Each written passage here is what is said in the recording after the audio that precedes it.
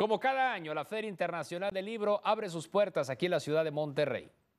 Muchas novedades son las que les esperan a los regiomontanos en la edición 2017 de la Feria Internacional del Libro Monterrey, que inicia este sábado. Diversas actividades para todo público son las que se prepararon para esta fiesta cultural, que estará abierta del 7 al 15 de octubre en Cintermex. Esta edición en particular está dedicada al eje temático de la frontera.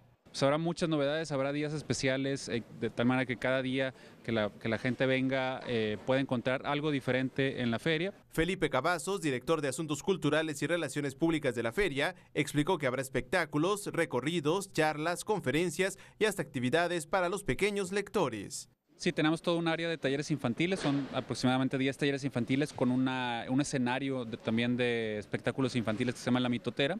Por otro lado, mencionó que además de los invitados especiales, la exhibición de libros de cientos de editoriales y presentaciones de nuevas publicaciones tendrán dinámicas específicas como la del trueque. Va a haber el, espacio comunidades de libro que va a ser un sector muy bien ubicado en la feria. Va a haber muchas mesas y entre lectores también van a poder hacer libre intercambio. Puede ser cualquier libro, obviamente depende de que a alguien más le interese. La Feria Internacional del Libro Monterrey 2017 estará del 7 al 15 de octubre en Cintermex, de 10 de la mañana a 9 de la noche. La entrada general para adultos es de 20 pesos, que será válido para los nueve días de la feria.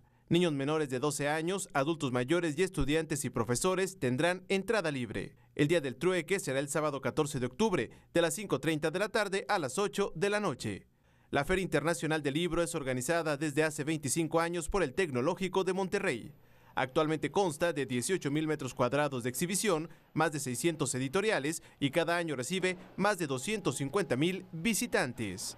Con imágenes de Sergio Mireles, Hugo Aranda Tamayo, Noticieros Televisa.